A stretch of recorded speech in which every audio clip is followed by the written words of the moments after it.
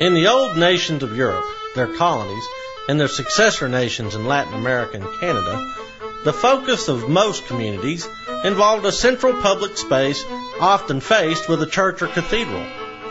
These structures, symbols of social control and order, were fixtures in the daily life of these villages, towns, and cities, and their strategic real estate often marked their importance and influence in the daily life of the community. While many came to this country seeking religious freedom or the comfort and security of religious structure, many more came for political freedom and the simple desire to be left alone and unmolested, to live as they saw fit. Justice, in theory, would be applied as equally to them as to the local stable hand.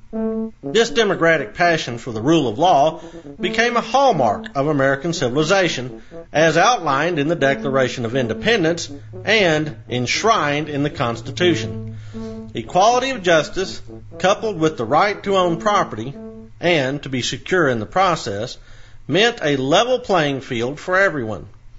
It was the role of government to safeguard these processes, not smother them or interfere.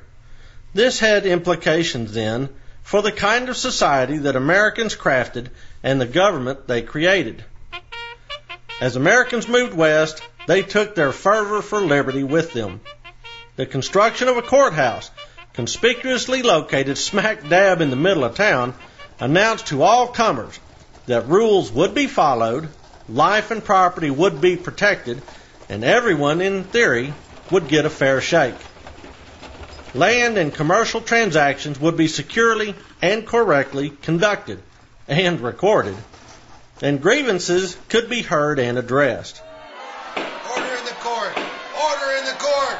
While some might argue that American justice was often poorly administered and failed to live up to its promise, the case remains that it was this single cornerstone concept, the rule of law, that laid the groundwork for national success. One thing was for certain. Those choosing to operate beyond the law would receive the full measure of societal wrath. This building, while a plain looking courthouse at first glance, is really so much more. It is a temple of justice and an immutable monument to Americans, their energy, their idealism, and their unflinching faith in the rule of law.